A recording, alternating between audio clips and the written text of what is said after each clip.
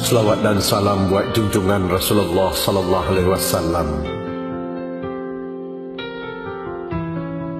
Suatu pagi di hari-hari terakhir baginda Kuwariskan dua perkara kepada kalian Yaitu Al-Quran dan Sunnahku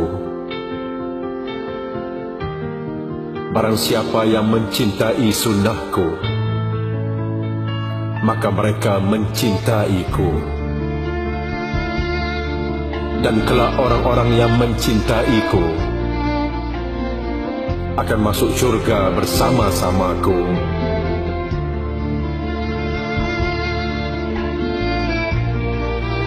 khutbah singkat ini diakhiri dengan Rasulullah SAW memandang tenang mata sahabat-sahabatnya.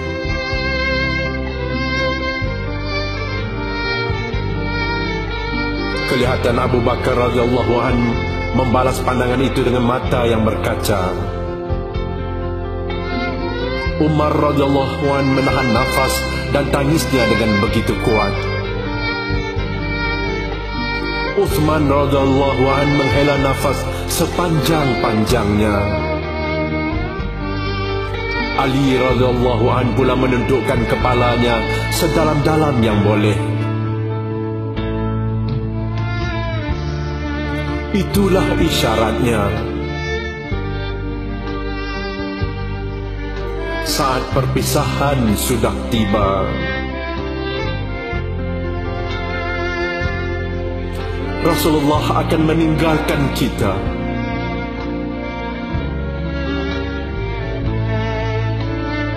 Manusia tercinta itu sudah hampir selesai tugasnya di dunia.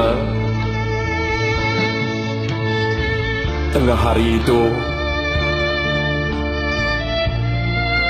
di rumah Baginda,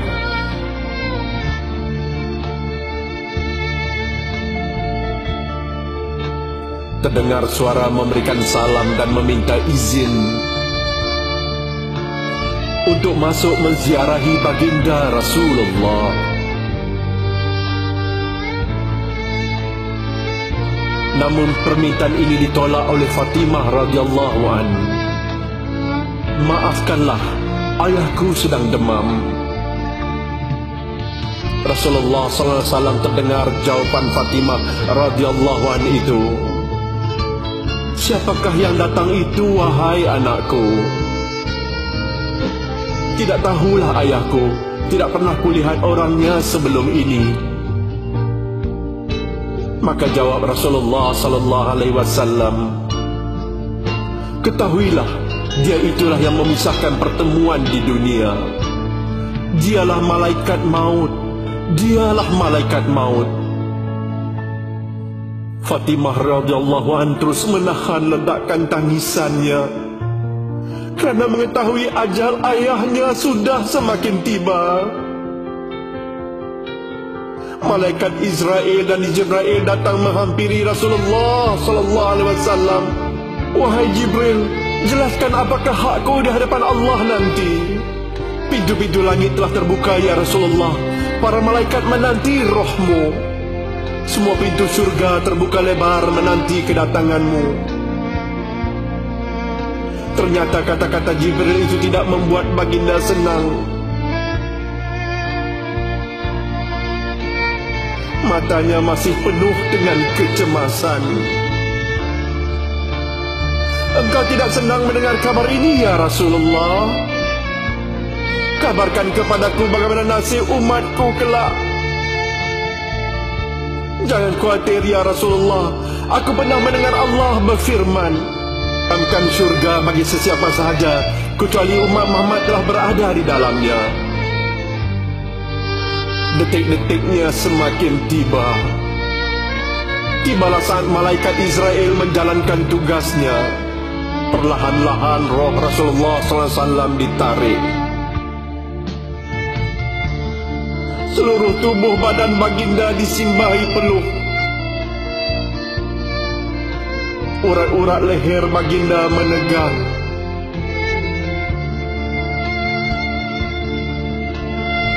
Perlahan-lahan Rasulullah mengadu.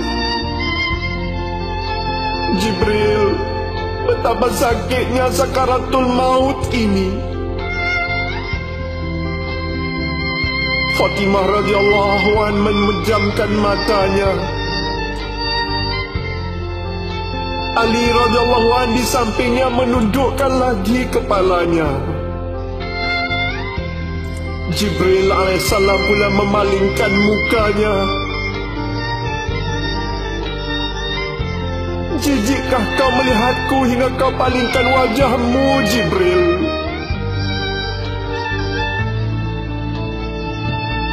Siapakah yang sanggup melihat kekasih Allah direnggut ajal?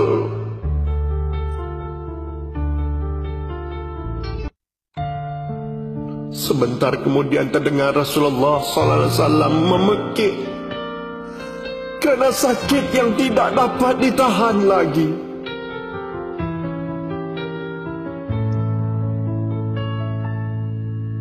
Ya Allah, dahsyatnya nian maut ini.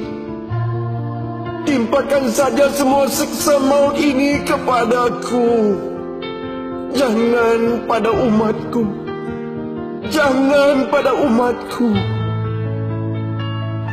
Badan Rasulullah sallallahu alaihi wasallam mulai dingin. Kaki dan dadanya sudah tidak bergerak lagi. Bibirnya bergetar seakan membisikkan sesuatu. Maka bergegas Ali radhiyallahu an mendekati bibir baginda peliharalah solat. Peliharalah solat. Dan peliharalah orang-orang lemah di kalanganmu.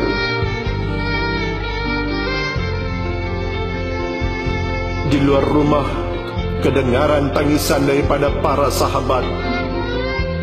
Fatimah radhiyallahu an menutupkan mukanya dengan tangannya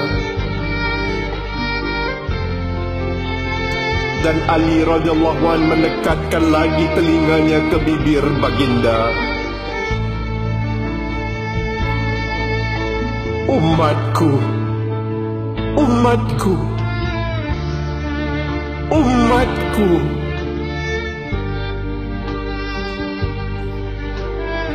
Umatku.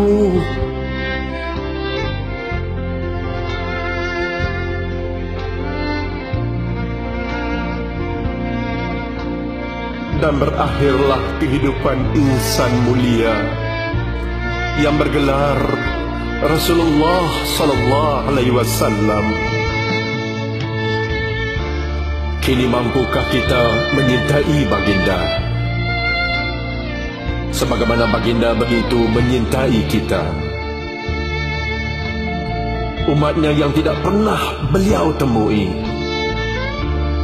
Lupakah kita akan perjuangan dan pengorbanan baginda dalam memperjuang dan menjamin kesejahteraan umat manusia setelah zaman baginda?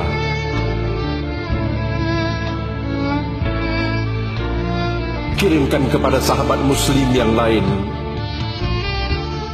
agar timbul kesedaran untuk mencintai Allah dan Rasulnya. nya sebagaimana Allah dan Rasul sentiasa mencintai kita.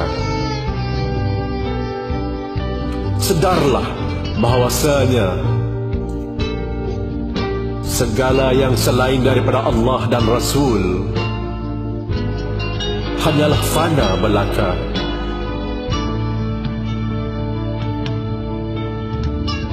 Semoga kita sama-sama mendapat keberkatannya. Beserta syafaat Rasulullah sallallahu alaihi wasallam. Di akhirat kelak. Di akhirat kelak